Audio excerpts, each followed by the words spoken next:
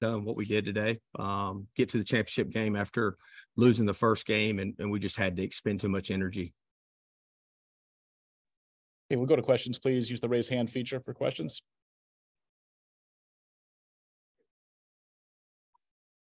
Start with Patrick Mason, please.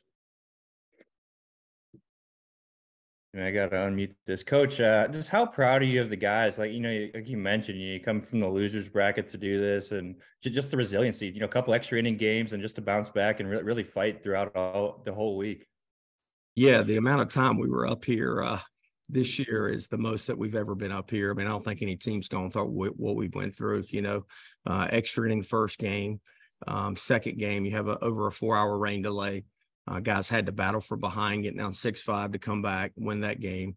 Um, then the UCF game, we had a day off, uh, but then the UCF game, I think, went 13 innings, um, where we had the lead in the ninth, and UCF tied it up. And we had to walk it off in the 13th, and then you got a doubleheader the next day, and for our guys to show up, and you know, Sailor was tremendous, and then the bats get hot. Um, but like I said, today they just they didn't, you know, as much as we tried to get them going and to dig deep, um, they just couldn't find that extra gear. Um, you know, if I had to re- uh, do it over again, I probably would have played some different guys, which um, you know I just couldn't do because the the guys that got us here needed to be on the field.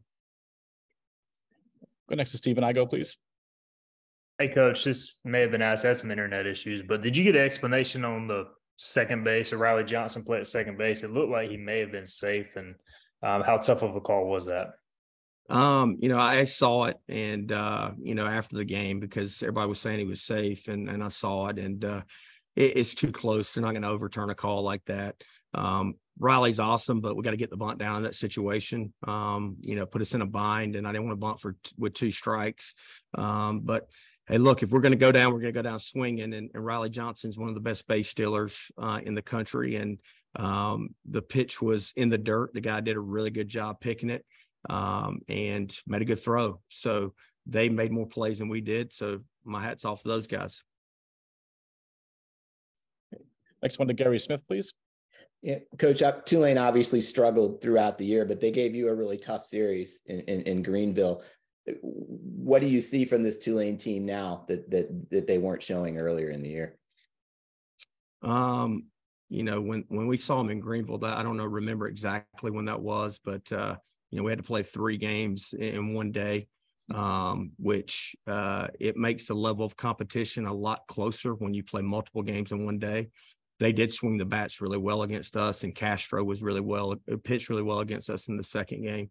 Um, so um, do I think they're whatever a 2019 win team, 20 win team? No. I mean, when they were in Greenville, I think they got their 13th win against us. So uh, I think I told somebody that's the best 13 win team I've ever seen. So um, they definitely have more talent than what their win total is. And that's not a knock against Jay. That's not, please don't run with that and take that. I like Jay. I think Jay's a good coach. I just don't know why they haven't won more games because I think they have some talent over there for sure.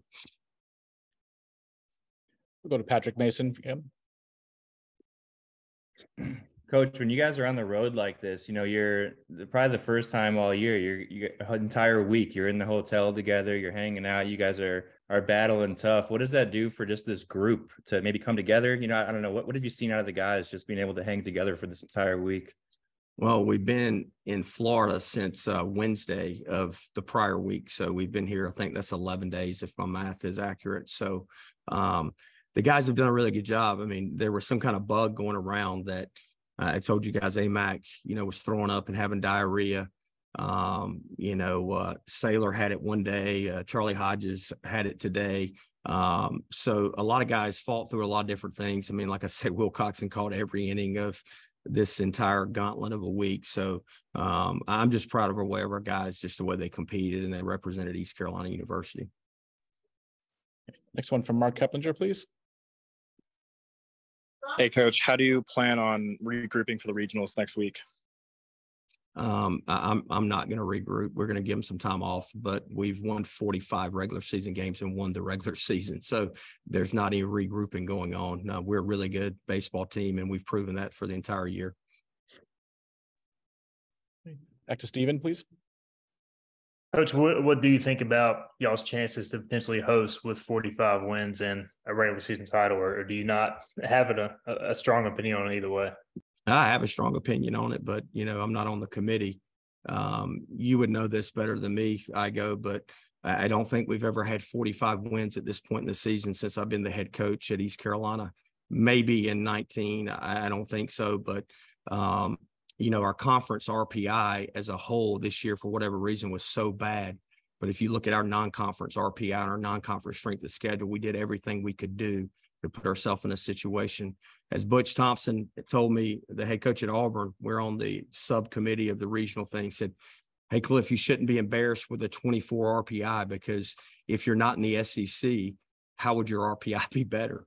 And uh, look, we've done everything we could to put ourselves in that situation. Um, unfortunately, we don't get to vote on it. So we'll play wherever they want us to play. But, um, you know, I really think our guys earned to play in Greenville with 45 wins and a regular season conference championship and our non conference RPI. Okay, We'll take last one from Gary Smith, please. Teo Banks, who really struggled earlier in the year when I think went 11 for 21 in the tournament, had three singles against you in the first three bets. How much of an issue problem is he going to be for whoever Tulane faces in the regional, the way he's playing right now? Yeah, he's he's a really good player. You know, we, we were happy that he hit singles off of us. You know, it's kind of a reverse split where you know he actually sees right-handed pitching better than he does uh, left-handed pitching. So uh, we felt like we had a good matchup with Root, and he hit a couple balls off the cap. I mean, the one in the four hole, um, Starling got to, but it's just off the cap, and he's a good runner. So uh, he definitely oppo- poses a problem for anybody that uh, you know is pitching against him. Thank you. Coach Godwin, thank you for your time today and this week. Good luck in the regional.